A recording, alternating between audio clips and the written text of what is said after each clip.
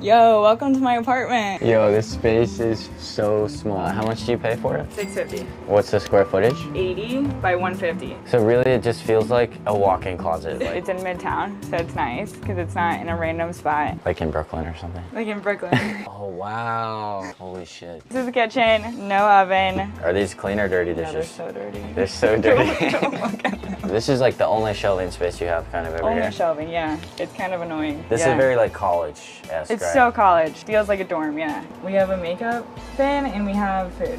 Or do you cook in here ever? is that the that's the real question? Sometimes, yeah. If I do though, like I'll go get it fresh. This is storage. I just keep like a lot of cleaner stuff up there. So I had food up here originally. There were like mice in the like the beginning of summer. So I was like, hell no. The, the whole mice bugs thing, like any apartment in New York, you can't escape it. You almost couldn't even do an at-home workout in here. That's how mm, small it is. yeah. So you used to live in a luxury high-rise, and then you moved into this tiny spot. Yes. And what prompted that? I kind of just I was debating if I was gonna move back to LA when this lease was over. So it was a six month short time lease. I just found it and I thought it would be nice and convenient. I can travel and not have to worry about a lot of rent. You basically saved twenty-six hundred dollars a month. Yeah, exactly. So should we shift into the living room area? that's it. Okay.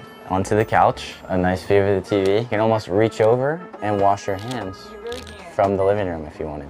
I work in fashion, so those are all from my magazine that I write editorials for. And then semi-new to New York, a year, so it's like postcards you know they give you when you go to restaurants. And I'll like write memories on the back of them with like whoever I went with to the place. So do you primarily hang out like down here when you're at home? Mostly. Sometimes it's nice to go up there and like read. Or... This space between here and here folds into a guest room. Can we pull it out? Can we see it? Yeah, it. So everything has to shift to the right a little bit. Mm-hmm. And then you just pull it out. This is Surfline, Surf Life. So I'm guessing they're like a surf brand. It's definitely a little stiff.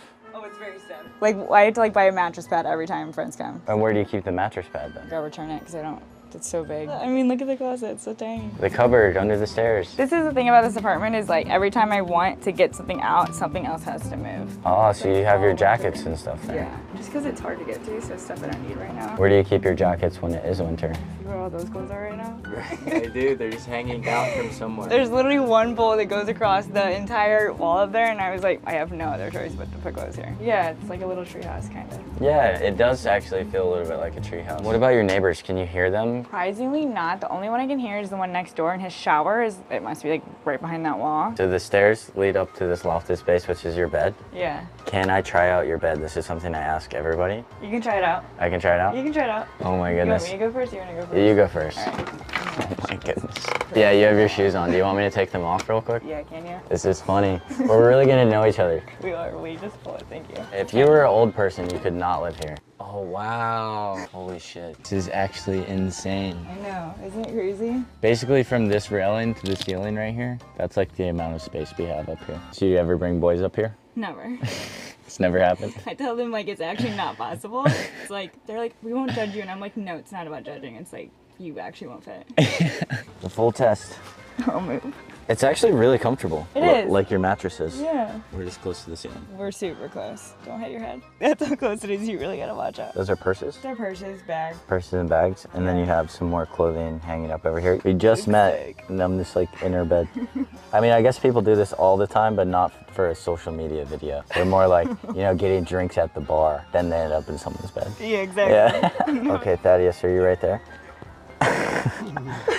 So how did you find this apartment? So I found it on Street Easy. I was actually supposed to get the one below me that had a bathroom in the unit and I think an oven, but that was 850 and the girl was like, it's gone, it's taken, like these are going like crazy. And she was like, I have one more open for you. There were so many people touring this apartment when I came Really? and the agent just was like, you're really fun, like I think you should have it. And So this was a hot commodity. it was a very hot commodity. It was funny because all the FIT students were like, oh my gosh, this is so cool, like we want this. And so let it be known, this apartment, people want it. This isn't like, oh no, you don't want to live here. You want to live here. you do. It's an adventure. Can we check out the bathroom? Yeah. she, she sounded embarrassed. Also, I noticed you keep your shoes out here, Yeah, I do. and your neighbor doesn't care here. No, he's so chill. I've asked him a million times if it bugs him. He's like, I don't care. The shower looks nice, actually. no, I'm serious. So being a female living in this building and having your shower down the hall, Yeah. Do you ever feel uncomfortable? No, honestly, but it might be because I know all my neighbors and I feel like I can just like walk out. I can rock out here in town like a robe and it just doesn't matter because like we're mm. all really close. So it's all my skincare and then this is just like kind of essential stuff like makeup brushes and let's go. Sketchy rooftops in New York City. Whoa, so this is your rooftop. How often do you think you come up here? Like once a week, seven times a week? So I work from home like three times a week now. So I would say like three to four days. Sometimes I get a little claustrophobic, so it's nice to just kind of like relax up here, read, write, yoga. It just gets so tiny and tight in there. So What do you do with the dog when you go to work? I keep him either in the apartment or I take him to daycare in the morning. The luxury building versus this apartment, which one's better? This. Hot take. Hot take. People need a lot less than what they think they need and learned that here.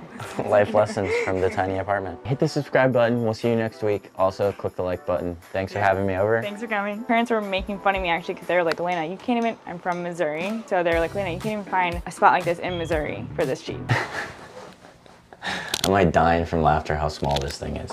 Okay, here we go. Porten til riget er begyndt at åbne sig på ny.